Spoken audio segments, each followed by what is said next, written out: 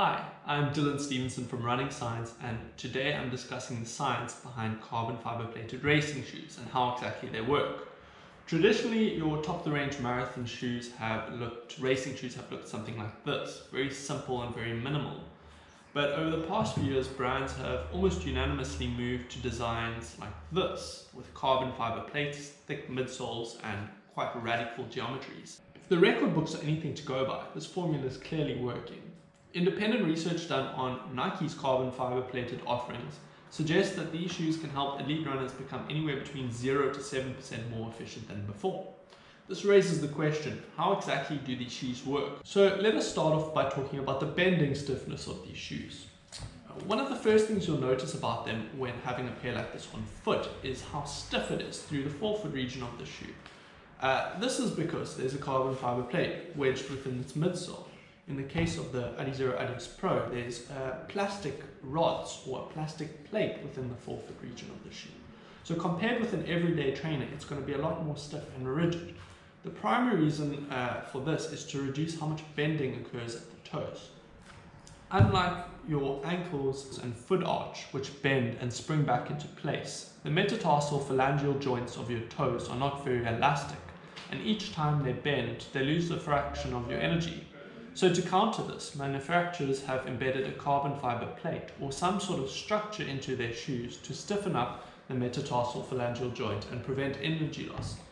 But there's a problem with simply stiffening up the shoe and reducing the, the bending at the forefoot, and that is you shift more work and more load to your ankles, which can offset the benefit that occurs at your toes. But there's a way around this, which brings us to why these shoes have such a curved geometry. Uh, if you exaggerate a shoe's curvature to form what is called a rocker, your foot rolls through toe off, which reduces the work and load at your ankles and allows you to get the full benefit from stiffening up the forefoot. Another way a plate may be beneficial inside a shoe has to do with increasing the lever length of your ankle. Basically, with a plate inside your shoe, you're able to pivot and generate more ground force further towards the end of your shoe. This would be the mechanical equivalent of riding a bike in a larger gear, which in theory can allow you to generate more torque. This brings us to what most thought was the crucial benefit of the carbon fiber plate, uh, and that is to act like a spring, which bends and recoils forward. Um, one research paper considered this, but found that the overwhelming majority of spring-like properties you get from a carbon fiber plate shoe comes from the midsole itself rather than the carbon fiber plates.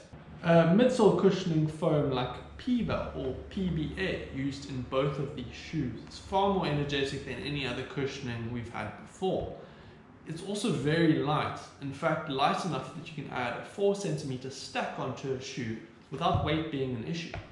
I'd argue that a shoe like the Vaporfly can benefit simply from having uh, a plate to hold the cushioning together and allow the cushioning to conform to the foot and also give the super soft spongy foam some sort of structure.